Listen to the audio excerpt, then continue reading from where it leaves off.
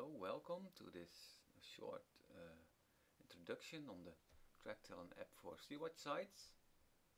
Um, I'm going to show you the data entry on the mo mobile app. Um, so the goal is to submit a count uh, on the website. So this is a count, as you can see, which is submitted via an app of course this is an old one but on, at the end of the, this tutorial you will see a count submitted by the app.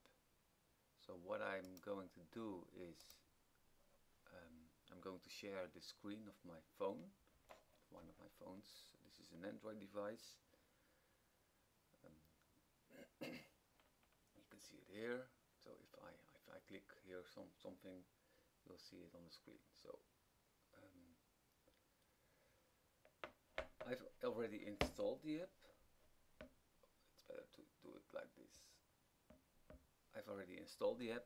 Um, you can only start the app if you have an account and the site. Um, you log in with your login information and the app will download um, all necessary information from the Trektellen database. Um, so that that is uh, the, your sites, species, the species lists of the site, age, sex, plumage information, etc. Um, so I've already done that in English um, and maybe I can first give you just a, a, quick example of how to submit a count. To do that click on start count, select your site, um, you can predefine which one is default. If you have more than one site if you have only one site your site will be selected. So if you can click so these are my sites this is the Sea-Watch count. Start count. Then you come in the uh, header information screen. Start uh, date start time which is the current timestamp. Count type. This is also uh, this can also be set uh, to a default value in the in the settings screen. I will show that later. Weather information. Um, these are site-specific questions. Uh, you won't see them by default, but if you want such questions, just ask. Um, well, let me just fill in some of these fields. East, free, cloud cover like this visibility is important. So this is in meters not in kilometers. So let's say 15,000 meter and it's 23 Celsius. Okay start count. And now we come in the data entry screen itself. You see a lot of empty boxes on top of the screen. These are the species buttons. By default these buttons are um, empty but they will fill up with the most common species during your count that day. Um, you can also choose to predefine a set of species which will be shown here but for now I'm going to show it like this. Um, since this is a Sea-Watch count, a Sea-Watch site, you will have two fields, left and right basically um, for normal visible migration sites you will have by default only one direction um, and if you click show details you will also have the local field um, and for VisMig sites you will see also these two fields so I'm going to submit uh, Fulmar you can choose a species by the three dots here or by this one. I normally use this one. You will have the full list of species. Um, so the latest submitted species is already always on top of the list. So it's very easy to to resubmit the same species. So I've already tried a Fulmar as you can see. So let's do a, a Gannet. Um, Gannet. Click on the species name number to the left you can also type it in of course you can choose uh, the age classes if you want. Let's do one three adults. Hit save.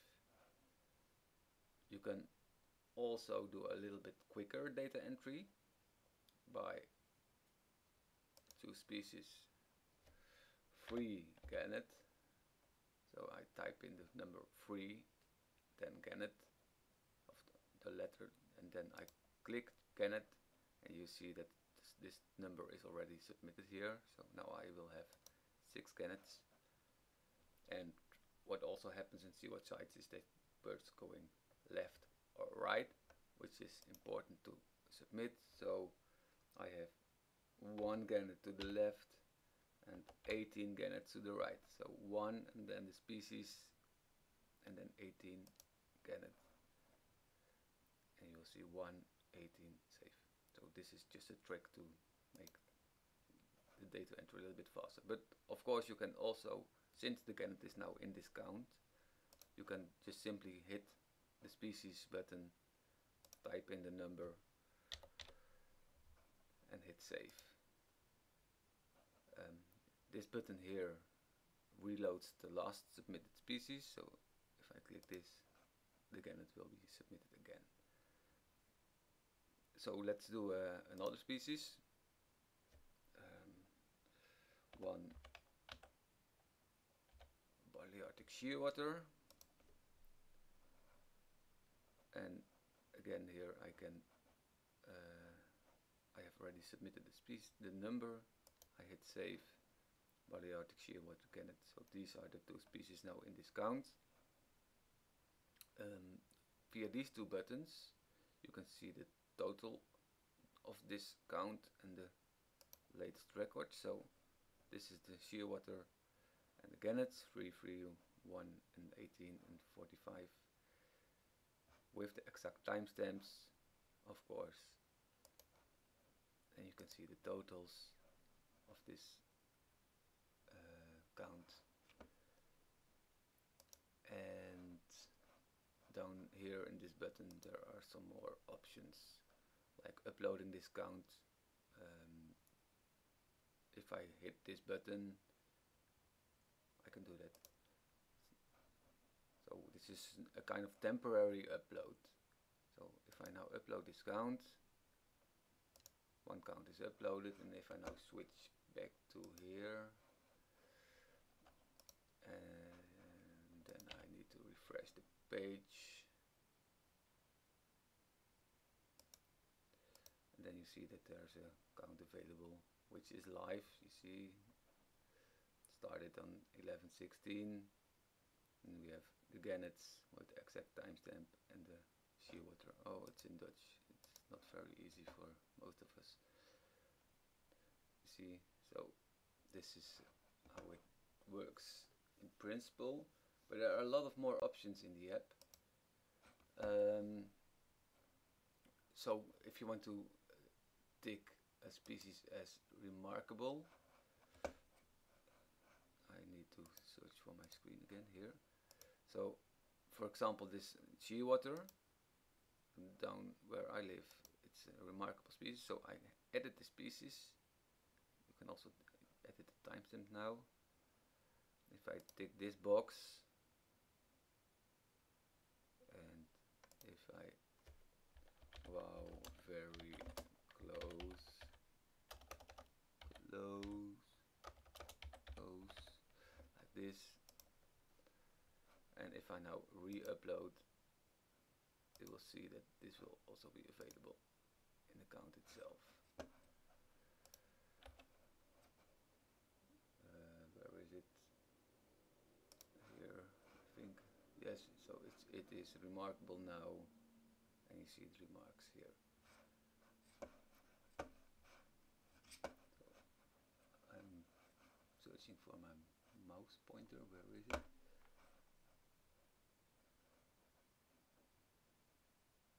Oh, it's the wrong screen. Okay, so Um, what else? So these are the age plumage information. I already told you that via the settings uh, you can change a lot of things. So this font size of the buttons. So I use the phone. Um, I have a then I uh, choose a small font size. Because if if you use, for example, tablet, you can make this way bigger. Uh, the the height of the part of the species buttons you can change it yourself to see what's the best for you. Default observer, which will be filled in if you create a new account. Default site, default count type, the same. This is the number of columns and rows for the species buttons um, and ordering.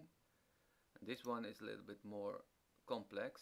So these lower two um, options um, are used if you uh, want to have a species only from the day of the count.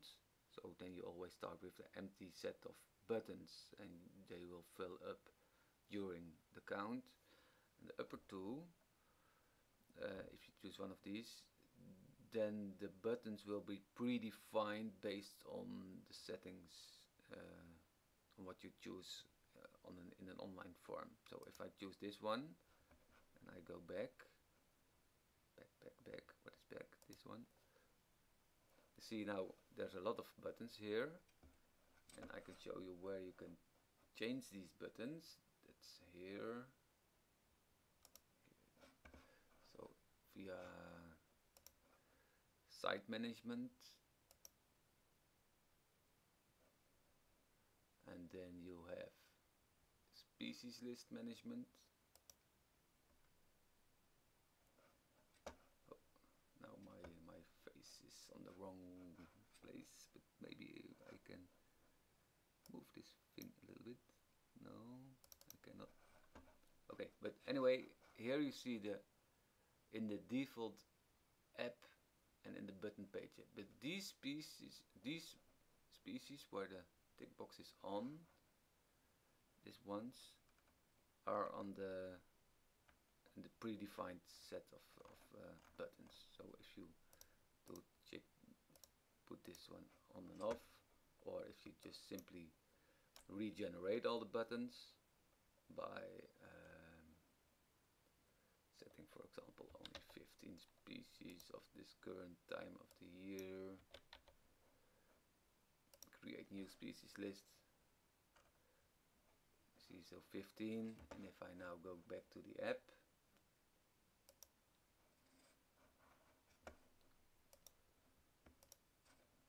It's not changed. Why is that? Because app is completely offline unless you want to do something online so I'm going back to settings, re-download basic info, you can choose the language.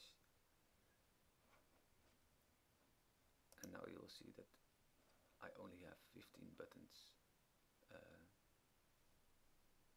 available which are the 15 species I've chosen in the earlier screen. So this is a way to predefine your set of species. Exact especially if you have a, a focus on a, on a specific set of species, this can be very uh, easy. Um, so what else do we have in the settings screen? We have um, auto close keyboard. This is when you uh, hit save. So type in a number via the keyboard. If you hit save, it can leave the keyboard open. This is very helpful if you have a big screen, very big screen.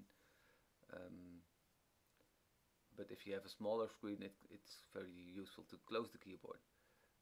Uh, leaving the keyboard open is a uh, little bit faster because uh, opening and closing the keyboard is uh, time consuming, but well, just try what's the best for you. Use groups in data entry. You can group records to each other. This is by default switched off. It's a little bit complex, but if you collect information, for example, um, of, of, of, what species are in a group for, for ducks or waders, you can link records to each other. And if you are interested in this, I can uh, well, maybe I can just give you an example uh, later on.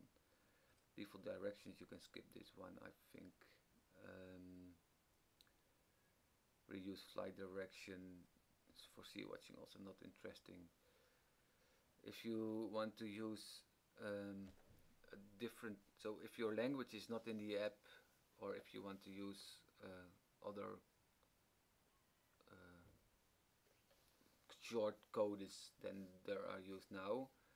If you tick this one all the species names will be changed to the, the six letter uh, abbreviations. Use protocol. So if you tick this one by default some of the HX launch classes will be shown. If I will tick this one off then you can see the difference. If you hit auto upload everything you do will be automatically uploaded to the website um, so this is very nice if you have uh, if you count on a big site with with, with many observers uh, uh, interested people interested. You can just simply hit it. It's not very data data uh, uh, consuming um, but uh, well everything is live so people can can follow your count during the day every day of the season um, also the changes you make if you if you did something wrong it will be automatically uploaded. Use light theme so by default the app is dark because it's uh, better for the battery. But if you want to have uh, the light theme you can tick it here. I can do it like this and show already uploaded counts in the upload count screen. I leave it off but you can do as you can see what it does do yourself. So I go back. Uh, you can see now here the species are uh, the six code abbreviations. The screen is still dark, um, but that will change um, if we end the count. So I'm going to end the count. This one is edit count. This is the um, edit header information of the count. But if you end the count, you also can edit the header information so you can see now it's the, the light theme already there. Um, I'm going to change the start and end time 11 0 0 until 11 30 so it's half an hour count. Um, I hit save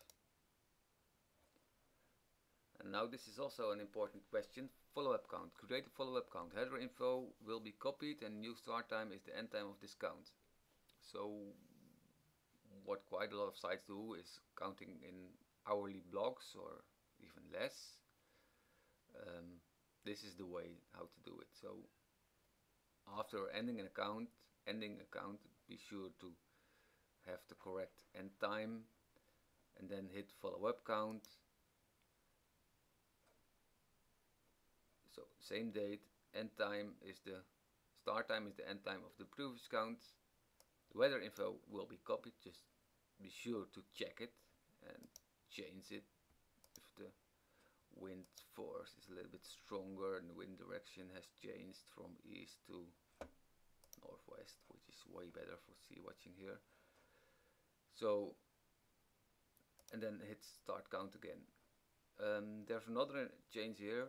Um, you can you don't see the HX plumage um, buttons down here anymore because I've changed that by hitting the protocol button.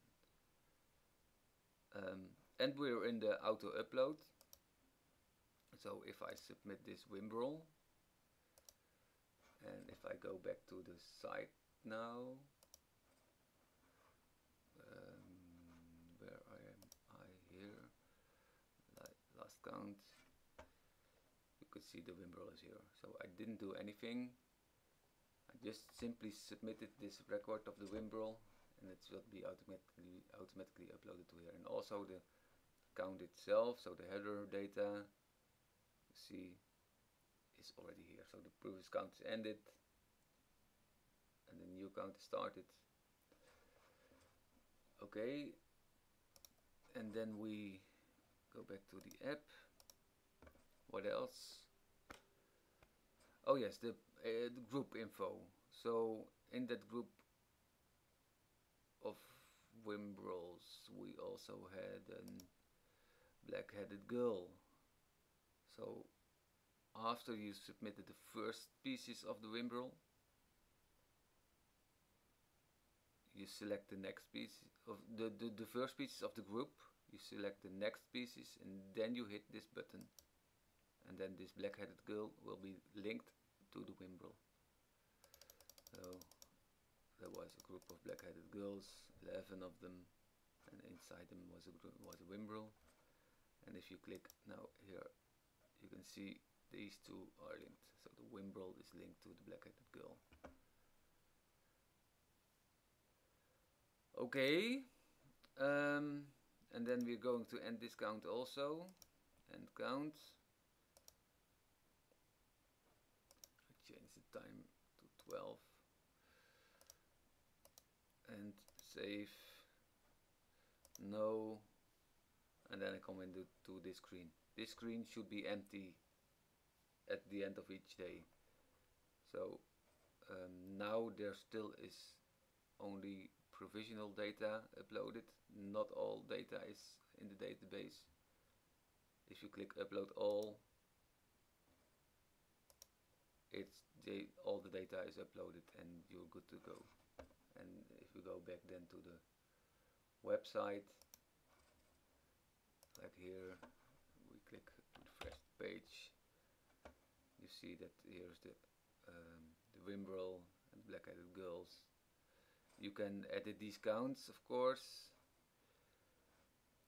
um, I'm already logged in you can edit the count via account management what I normally do is simply hit click all details edit count and now I can change the uh, information. So here you can see the exact timestamp 11 black-headed gulls. You can see here that the group ID is 747 the Whimbrel will have the same group ID 747 you see? So if I if I want to ungroup it I simply delete this group ID um, but this is just more technical I'm going to skip this um, okay so I hope this gives you a little bit information how it works if you have any questions, just contact me um, and I'm going to try to give you a little bit more information. Okay, have a, have a good day.